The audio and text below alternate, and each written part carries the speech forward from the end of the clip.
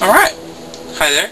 Uh, today I'm going to be finishing up on all this little mess, so that's cool. I just thought I'd do some cool quick cuts. See how that works out. Here we go. Gluing up some PVC. I just got the handy pack of pipe cement, pipe glue with the purple primer and the clear glue. Um, they've got one of the glue bottles that's uh, has got a red label and it's all purpose. Uh, that would have worked here fine, but this will too. So this was cheaper, this was easier, this is what I got. So um, always start with the purple primer. You really don't want to try to glue any of this without the primer. Um, the glue works fine without it, but it works so much better with the primer.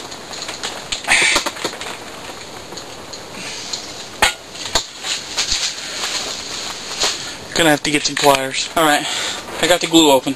I've already glued together, uh, I don't know, about seven eighths of the project. I got uh, one, three more joints to glue, and then the hinge pieces. Um, I actually wanted to show you the hinge pieces. I got these two, uh, these are one inch coupler pieces, and I'm using three quarter inch pipe. What that means is that this will slip easily over the pipe loosely. Okay, now I need that because these are the hinges. The only part of this that's going to be attached to any part of the door or the frame is uh, the actual sidebars, and they're going to actually be screwed directly through this into that. Okay, um, so it's important that these be loose. Um, now I could have done like a regular smaller coupling like this on that and then just glued these two together and then cut that down and slip that on or trim that out and slip it on. But uh, these were easy. I just buy a bunch of them and then I'd have what I needed. So I'm going to glue these two together the same way you would normally glue the pipe.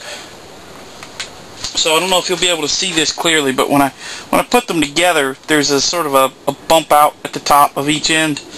Uh, just part of the forming process, but fortunately that gets in my way. So I'm just going to trim it a little. I may go ahead and just flatten portion. Yeah, this piece is going to actually slip on this and it's going to sit up against the coupling here and the T-piece and those sitting in this joint is what's actually going to provide the holding for the door. That, that's that's what's going to do it. Now, I've never used this glue like this. I've never tried a, a butt joint.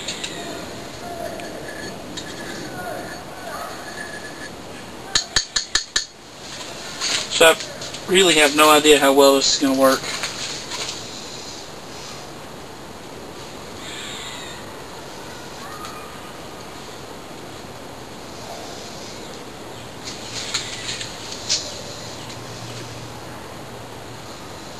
I mean, theoretically, it ought to work just as well as gluing a joint, but the less surface area could make this weak. Well, the primer is strong. The glue will knock you on your ass.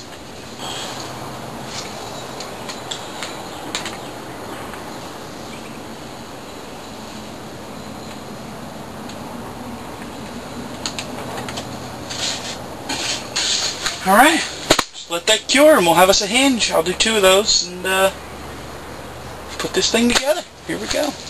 Yay! I finally got the pieces uh, shaped and fitted. So there's my doorway. And uh, I've been gluing and gluing and gluing.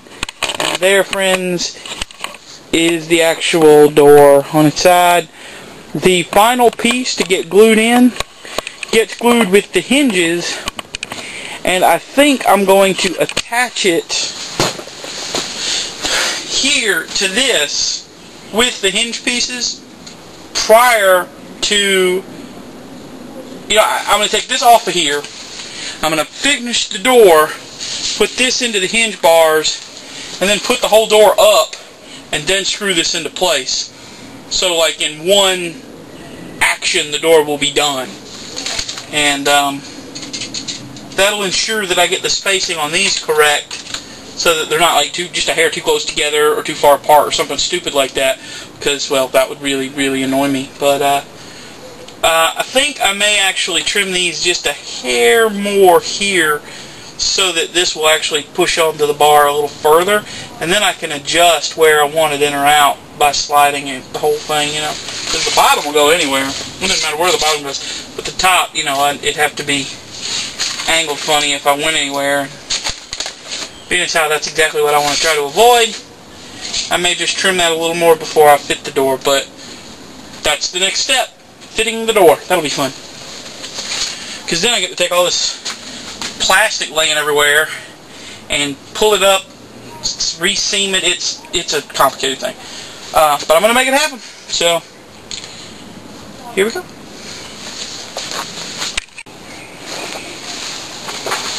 Also got a spring, pretty typical screen door spring, um, extension spring, little loops on the end. I'm gonna put a, I'm gonna screw an eye bolt into uh, this bar somewhere uh, and then do the same thing over there at the door frame.